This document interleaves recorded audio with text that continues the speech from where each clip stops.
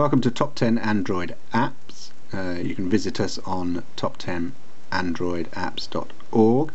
Today I'm going to be looking at uh, some of the great Android apps that you should have in your phone if you're a designer or like taking photographs or anything along those lines. Today specifically some superb photo editing softwares, uh, software that you can get on the Android. I'm using my HTC Wildfire um, which isn't as fast as its bigger um, cousin the uh, HTC Desire or even the Evo. So you know if it works on this uh, it works superbly on those phones. Anyway so let's have a look at Photoshop. Uh, Photoshop of course is world renowned for its editing software and Photoshop Express app uh, is a great little app. So first of all it instantly um, looks at the photos you've got on your phone um, and, and stores them there. And you also go online where you can store photos on the Photoshop online service. So these are phone uh, photos on my phone. I'm just going to get my ugly mug up here uh, now. So here I am. So what can you do? Well um, for a start we just uh, press down the menu. And what you'll find there is you've got uh, upload. Uh, so when you finished it maybe edit photo uh, set as wallpaper and a slideshow. So today we're going to look at edit uh, the photo. There we go. Right so straight away you've got um, a crop there or uh, exposure saturation tint black and white contrast brightness. You can change the photo there. Some soft focus uh, and various effects and borders which I'll come to.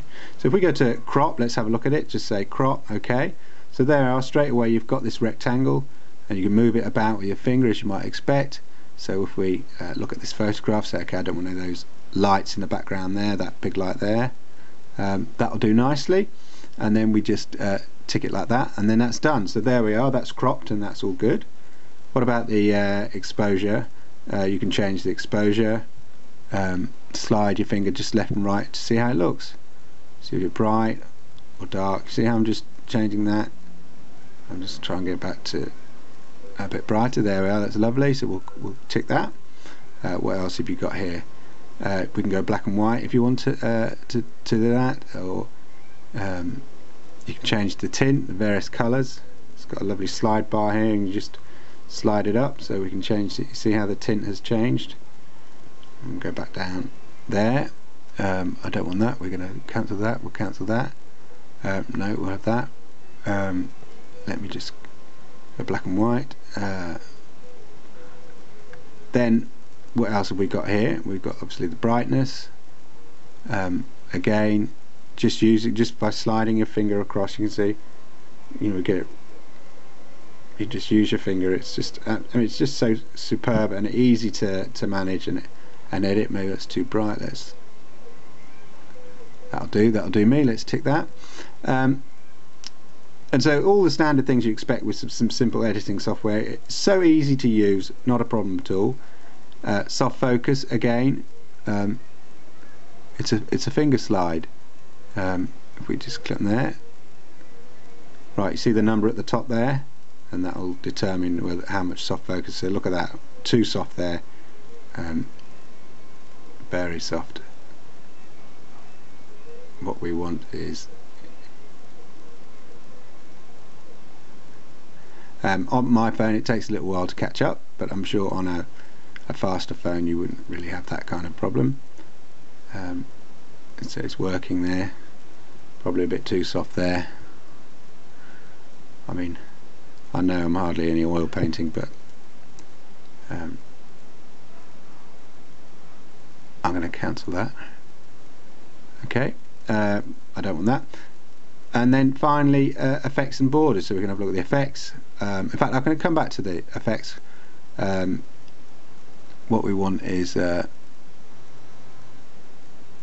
uh, just cancel that a minute. Here we are. What we're going to do is borders. Um, so say we can give it uh, uh, various borders here. So you sort of rectangle border or rounded borders. I particularly like this uh, this half tone here this film emulsion type border here. So we'll click that that's good. That's done there. So you see it's got this sort of as though I'm exposing the film uh, like a proof sheet or something sort of uh, border like that. And then I'm going to add some effects. Um, I quite like you've got sort of vibrant warm vignette rainbowy colour. Rainbow like there we are. See sort of rainbow stripes going across there. But actually what I want is this pop one. There we are. So it's a sort of um, classic sort of uh, pop there's a famous Beatles photograph where they're, they're sort of similar like this. So sort of slightly psychedelic pop photo star. I'm going to tick that. That's all done. Um, and then if I press there it saves it. I'm just going to save that. And then uh, what we can do is we can say okay uh, it, that's saved. Uh, where is it? There it is just get that there. Um, I'm going to upload it. Upload it and then here we upload it to photoshop.com you can sign up to uh, upload it to your Facebook um, or your TwitPic. In fact I'm going to upload this to my Facebook and it's going to be my new Facebook um, image. Um, I quite like that. So um, again so it's connecting up and um, it's going to connect to my I haven't actually connected yet but you'd put in your um, I'm going to do it now but your uh, email address etc and password connect to your Facebook and then next time you do it it would automatically upload.